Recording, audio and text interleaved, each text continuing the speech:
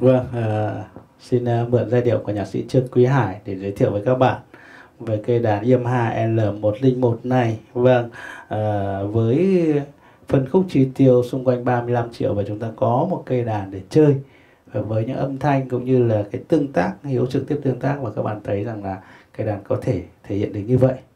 Với một tay đàn vừa phải của hiếu thôi thì các bạn thấy là đã là rất tuyệt vời rồi phải không ạ?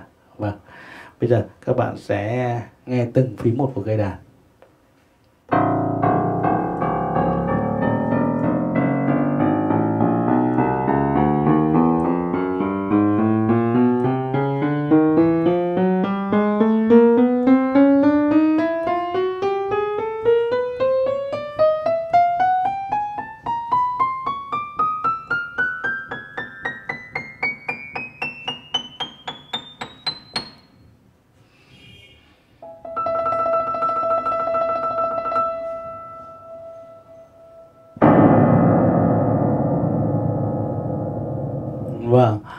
tính năng kỹ thuật và và hiếu tương tác thì thấy rằng là phím cây đàn này nó rất là vừa phải với lực. Đấy, vì vậy nên là hiếu muốn nghĩ rằng là tất cả các em nhỏ bắt đầu học đàn piano đấy mà lựa chọn một cây đàn phím nó vừa phải lực như thế này thì sẽ rất dễ để tương tác rất dễ để để để bắt đầu học tập. Và vì những cái đàn mà phím nặng quá thì cũng chưa phù hợp với các em. Và bây giờ chúng ta cùng à, xem cận cảnh cái bàn phím chữ Yamaha. Và các bạn thấy là bản thân ngay cái nắp thụt như này. Cũng chỉ có ở những cây đàn rất là đắt tiền và những cây đàn grand này thì mới có cái cái kiểu như thế này. Đó cái nắp thụt như này rất là hay.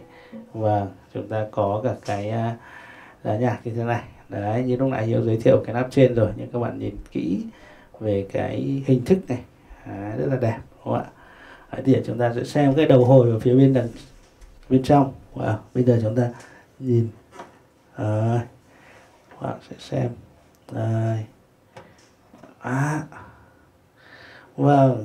Các bạn thấy hiếu cảm thấy còn là, là mới vâng rất mới. Cái đàn rất mới. Vâng đấy các bạn thấy con ngựa này cái dây này cái đầu dây này. Đấy. Rất là sạch sẽ rất đẹp như thế này. Vâng. Vâng có thể nói là rất là tuyệt vời. Đấy, rất là tuyệt vời.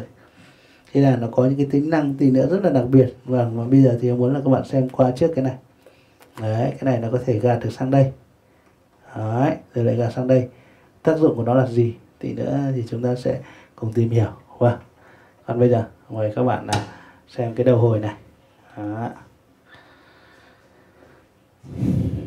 Vâng, đây. Bạn thấy à, rất là đẹp đúng không ạ? Rất là đẹp, rất riêng. Vâng. Cái đầu hồi này. À, đó. Thì bây giờ thì tôi muốn là các bạn xem một cái cái cái nắp này. Nó sẽ nhấc ra nhấc vào được. Đây là cái điểm rộng nhất phải nhấc ra. Đó. Đấy, là các bạn thấy nó khép dần lại. Đúng không ạ? Khép dần lại. Đấy. Thế xong bây giờ lại nhắc ra. Đó. Hoặc là nhắc ra này. Đấy rộng dần. Rồi lại khép dần lại cái đặc điểm này phải nói là rất là quý và rất là hiếm. Hiếm ở cái gì? Bởi vì là à, cái này chính là một dạng volume. Vâng. Hiểu là các bạn đi là volume ấy, tức là khi chúng ta càng mở rộng ra thì âm thanh nó càng lớn. Và chúng ta khép lại thì âm thanh nó nhỏ đi. Đấy thì nó là một dạng volume tự nhiên. Đấy, rất là phù hợp với à, các em mà mới chơi đàn hoặc là những gia đình mà chúng ta um, tập đàn chúng ta ngại cái chuyện ảnh hưởng của phòng nọ sang phòng kia thì chúng ta có thể là như vậy. Và đấy, thì còn lại sabot này thì các bạn sẽ thấy rằng là rất yên tâm rồi đấy, chúng ta sẽ cùng ngó cái phần bên trong. Rồi các bạn xem. Đấy bên trong sabot này. Đấy, bên trong này thì chúng ta sẽ phải uh, dựng cái máy lên để uh, chúng ta chiếu vào. Đó. đó. Rất là đảm bảo. Uh,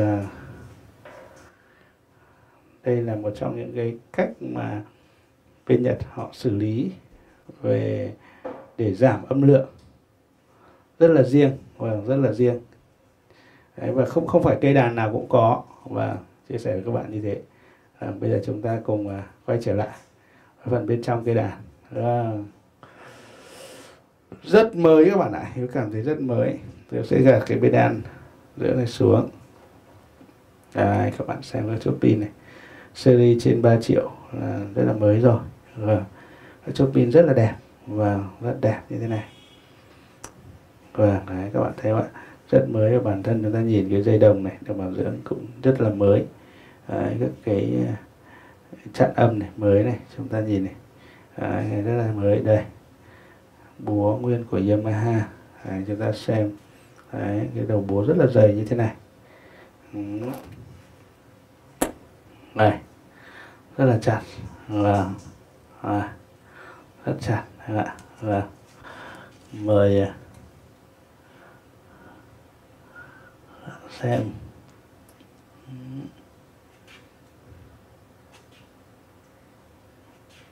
Đấy. Rất là tuyệt vời. Vâng. Và tôi nghĩ rằng là một cây đàn mà xung quanh 35 triệu. Vâng và đặc biệt nếu còn giảm giá tới các bạn nữa. Thì có thể nói rằng là địch như này rất là quý, rất quý. Vâng. Cây đàn được đánh giá như sau. Và cái đàn sản xuất năm 1980 các bạn nhé. Cao 1m06 được sản xuất tại Nhật và được đánh giá là body B, Kia, pin A, Action A và soundbox B cộng. Vâng body B, Kia, pin A, Action A và soundbox B cộng. Vâng rất là tuyệt vời, đúng không các bạn? Vâng